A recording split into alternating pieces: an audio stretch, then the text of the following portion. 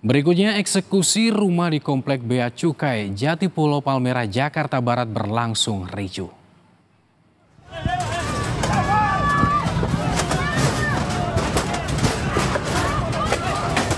Kericuan terjadi saat petugas Bea Cukai memasuki area rumah warga yang merupakan keluarga pensiunan Bea Cukai.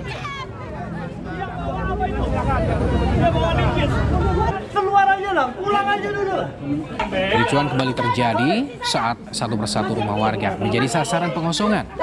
Pengosongan rumah kali ini merupakan fase kedua eksekusi rumah warga pensiunan di Komplek Bea Cukai Palmerah, Jakarta Barat. Pada fase kedua kali ini, sebanyak empat rumah warga dikosongkan paksa.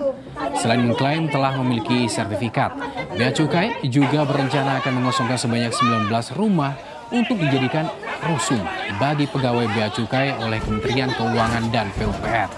Sementara itu, warga yang mayoritas merupakan keluarga pensiunan Bea Cukai ini berusaha bertahan lantaran telah menghuni kawasan tersebut sejak 45 tahun silam dan mengaku saat itu baik Bea Cukai maupun warga tidak memiliki surat kepemilikan yang sah di tanah tersebut.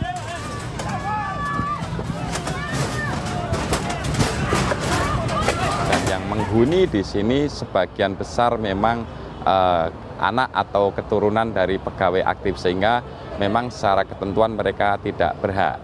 Eh, gugatan di Petun itu sesuatu yang berbeda. Itu tim hukum kami sudah menyampaikan juga ke pengacara mereka. Dan itu gugatan yang mereka ajukan sesuatu yang berbeda dengan upaya penertiban hari ini. Dan saat ini juga, hari ini juga tim hukum kami, tim hukum Bea Cukai sedang melakukan upaya uh, sidang di Petun. November 2022 ya itu tidak ada sertifikat. Di Oktober 2023 menurut Bea Cukai dia sudah mendapat sertifikat. Dan kita baru tahu di Februari 2024 pada waktu mereka datang ke sini. Nah itulah mulai bergulir terus. Menjadi mulai ada surat-surat pengosongan. Kemudian kita juga akhirnya warga hanya melakukan upaya-upaya hukum. Hanya ke PT UN. Untuk membatalkan surat-surat pengosongan dan sertifikat hak pakai.